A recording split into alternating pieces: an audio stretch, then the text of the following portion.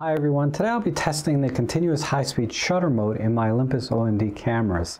And basically what I'll be doing is uh, putting the camera into shutter priority at 1 250th of a second and then holding the shutter button down for 10 seconds to see how many frames we captured in that 10 second window. Uh, we'll also get a chance to hear actually when the camera starts to buffer or when the buffer gets full and those frames per second start to slow down. Uh, as well as um, the differences between using a UHS-1 card and a UHS-2 card.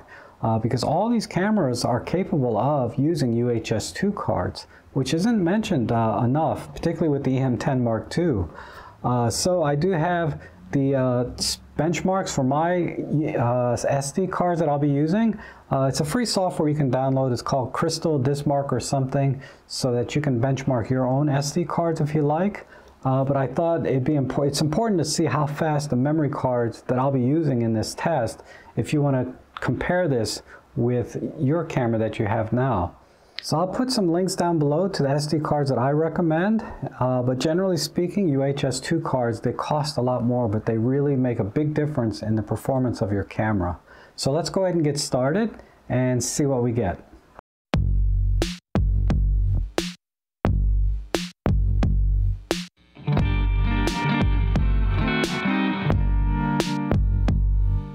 So just a quick overview of the exact test I'll be doing is I'm going to put the camera into continuous high-speed burst. So that'll be like 8 frames per second on the M10 Mark II. It might be 15 frames per second on the M1 Mark II and 3. And then I'll be shooting in single point autofocus, so the camera only has to focus one time. And um, I'll be shooting in three different modes. Uh, RAW, RAW plus JPEG, and JPEG only. And for the JPEGs, I'll be using large superfine, uh, the maximum quality JPEG setting in the camera. And also uh, for my target, I'm just going to use my color card here so we sort of get a nice uh, average file size. Because if I took a picture of, say, just a black scene or a totally white scene, where I've seen some people just make this test using a lens cap on the camera, uh, the file sizes tend to be kind of small. Uh, particularly the JPEGs when you do something like that. So I thought this would be a little more realistic. And again, I'll be testing uh, all those modes on each of these two different cards. All right, let's start with the M10 Mark II. I have a freshly charged Olympus original battery at the 17 millimeter f1.8 and I'm in shutter priority 1 250 of a second with the UHS-1 card in here. And first we'll start with the raw only uh, burst mode. Okay, just under two seconds it started the buffer.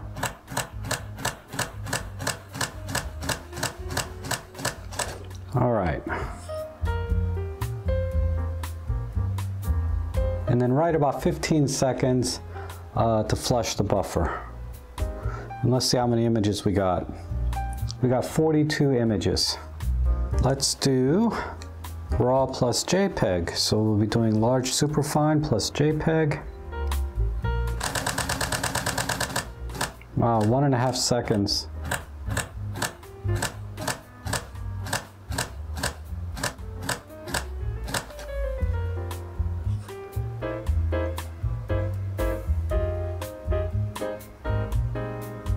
And 17 seconds to flush the buffer.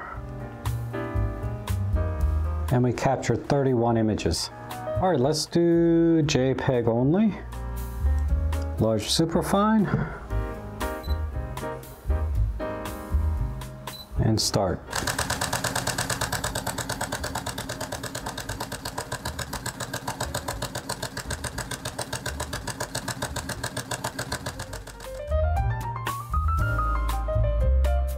All right, let's try with the UHS-2 card, because if you didn't know, the EM10 Mark II does support uh, UHS-2.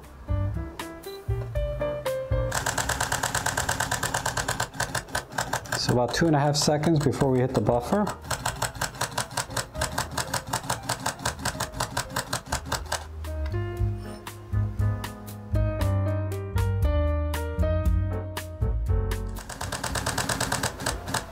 About one and a half seconds before we hit the buffer.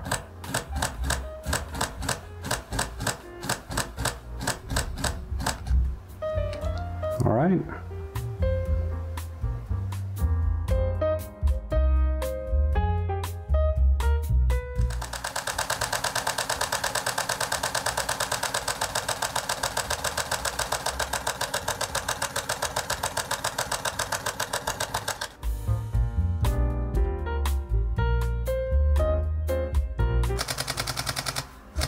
That buffered right a little over one second.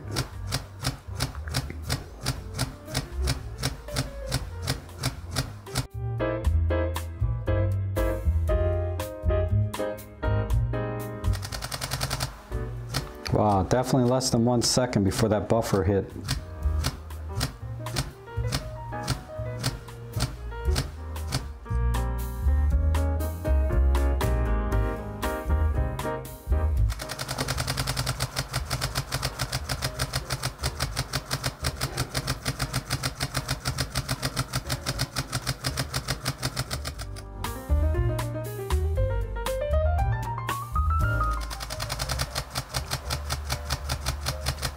Oh, that's much better.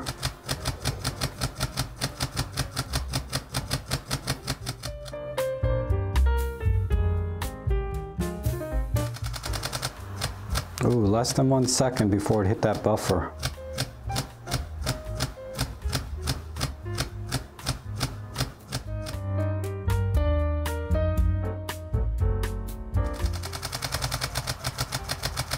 Much better. It's buffering, but it's writing, it's going through much faster. All right, EM5 Mark III.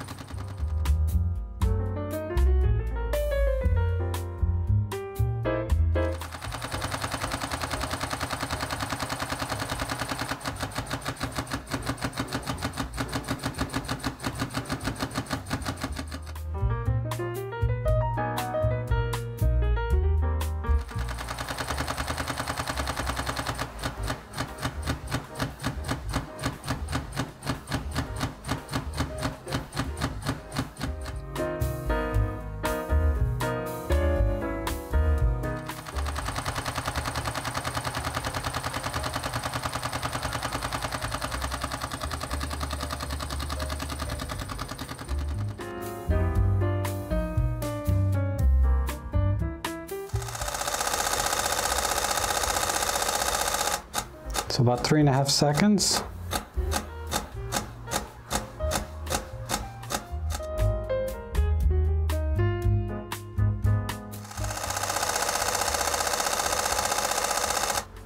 Just under four seconds.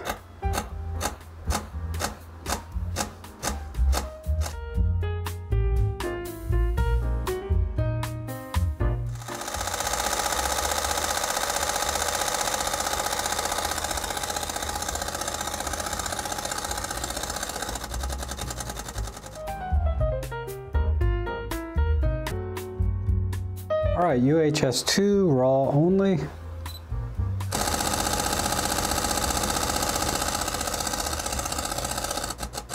So about four and a half seconds.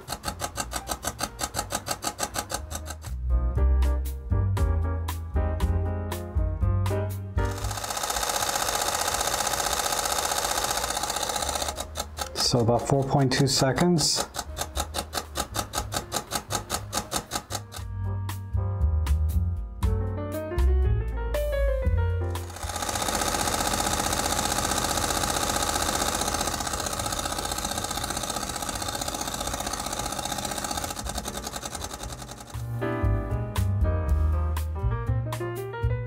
To the EM1 Mark III with UHS-1 continuous high, and this is a 15 frame per second high-speed mechanical shutter. And raw only. Holy smoke, sounds like a machine gun. Buffered it right at four seconds.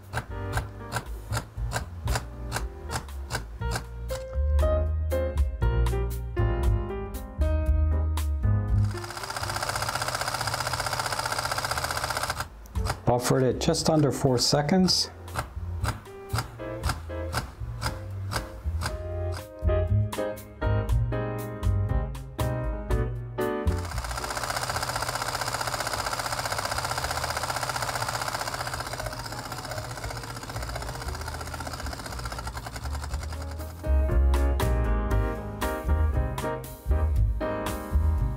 All right, now we have the UHS-2 raw only on the M1 Mark III.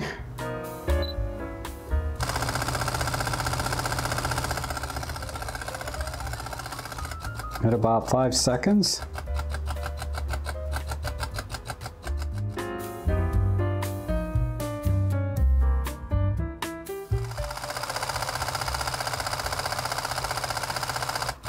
So four seconds.